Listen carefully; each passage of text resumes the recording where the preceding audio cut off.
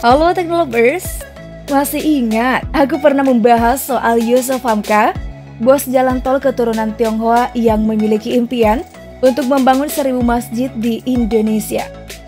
Hijrah sebagai seorang muslim ternyata diikuti oleh sang anak Fitria Yusuf. Kabar mualafnya Fitria ini gempar diketahui publik pada April lalu. Nah, tersiarnya kabar inilah kemudian banyak yang penasaran dengan sosok Fitria Yusuf. Biar gak penasaran, aku bakal membahasnya hari ini. Deretan fakta Fitria Yusuf mualaf dan ingin bangun seribu masjid. Namun sebelum lanjut, pastikan kamu telah klik subscribe dan aktifkan bel notifikasi. Update terus informasi menarik dari teknologi populer.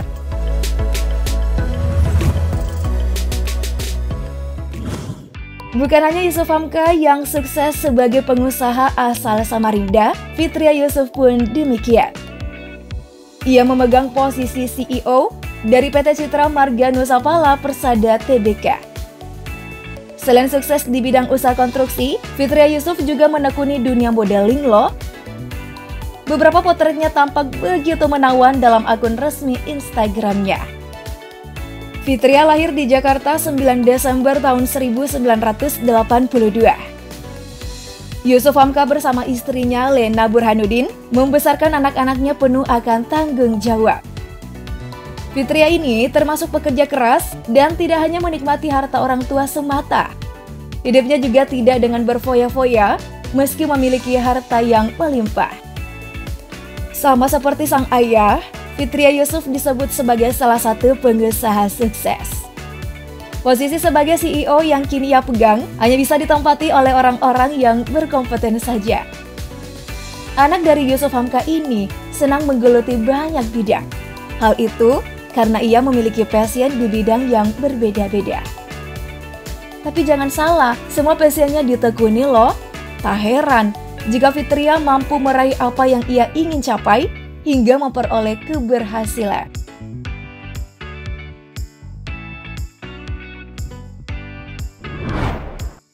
Fitria Yusuf mantap meyakini agama Islam sejak tahun 2020.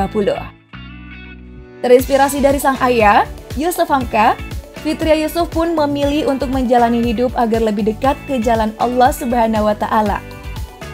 Fitria mengucapkan kalimat syahadat di Masjid Lautse, Jakarta Pusat pada 12 Maret tahun 2020 dan dibimbing oleh Ustadz Zaitun Rusmin dari Majelis Ulama Indonesia.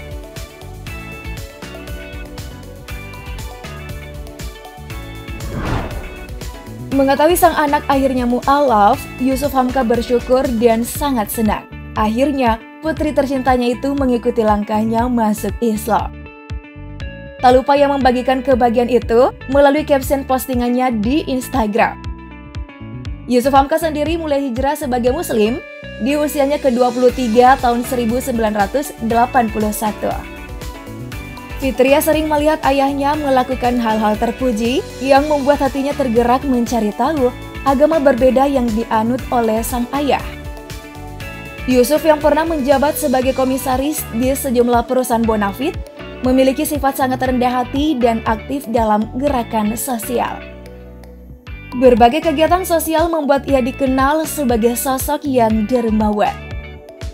Fitria Yusuf pun memiliki alasan yang tak jauh dari sang ayah untuk mempelajari dan menerapkan ajaran agama Islam. Ia ingin mencontoh Yusuf Hamka sebagai muslim yang taat. Fitria Yusuf merasa terpanggil dan mendapat hidayah dari Allah untuk mengikuti jejak ayahnya. Padahal ayahnya tidak pernah loh memaksakan soal keyakinan pada anak-anaknya. Namun, perilaku sang ayahlah yang membuat hati Fitria jadi luluh dan tergerak untuk pindah keyakinan.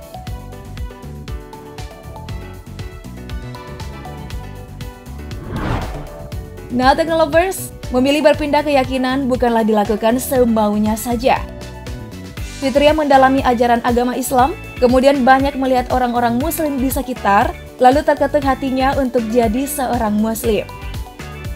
Yusuf Hamka banyak memetik pelajaran dan pengalaman hidupnya selama menjadi mu'alaf dan taat. Ia yang dikenal sangat dermawan dan peduli sesama, tidak pernah mempermasalahkan hartanya yang keluar untuk fakir miskin. Baginya, harta yang didapatkan akan dikembalikan pada umat dan orang yang membutuhkan. Itu yang membuat Fitria Yusuf juga mulai yakin dengan agama yang dianut ayahnya. Hidayah pun datang kepadanya. So, sejak kecil Fitria memang dekat dengan Islam. Nah, menariknya lagi dari Fitria Yusuf, ternyata ia akrab dengan Islam sejak kecil, dibuktikan dengan foto di akun Instagram pribadinya. Seperti potret ketika ia memakai hijab putih dan memeluk Al-Quran layaknya santri cilik. Ya, walaupun saat itu ia belum fokus jadi seorang muslim. Barulah dewasa Fitria Yusuf memantapkan pilihannya dan menjadi muslimah yang menjalankan syariat Islam. Wah, siapa yang sangka ya? Dari foto mungilnya, dewasa kemudian, ia jadi mantap mu'alaf.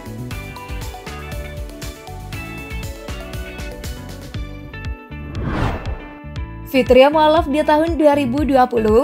Nah, di tahun yang sama, tepatnya dua bulan setelah mualaf, ia menikah dengan pria keturunan Iran yakni Wakid Halid. Pria yang dinikahinya itu seorang pengusaha sukses dan pernah mencicipi dunia entertainment.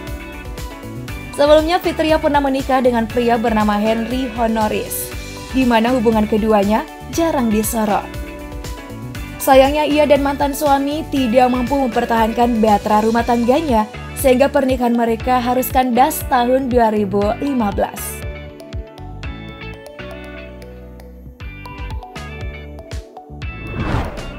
Impian sang ayah untuk membangun seribu masjid rupanya ikut dilakukan oleh Fitria. Usai mengucapkan dua kalimat syahadat, Yusuf Hamka memberikan amanah kepada Fitria untuk membangun seribu masjid impian Yusuf yang sudah lama ingin diwujudkannya. Ia pun mulai menjalankan amanah sang ayah. Dimulai dari membangun masjid yang terkenal di Jakarta, Bogor, dan sekitarnya, yakni Masjid Babah Alun. Masjid-masjid ini dibangun oleh keluarga Yusuf Hamka.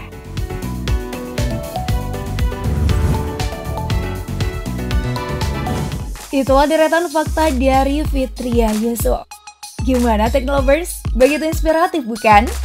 Hmm, kalau kalian punya impian yang sama juga nggak nih ingin membangun masjid? Atau impian apa sih yang ngebet banget kalian raih dalam waktu dekat? Komen yuk, abis itu klik like dan share video ini. Sampai jumpa di hari esok. Bye!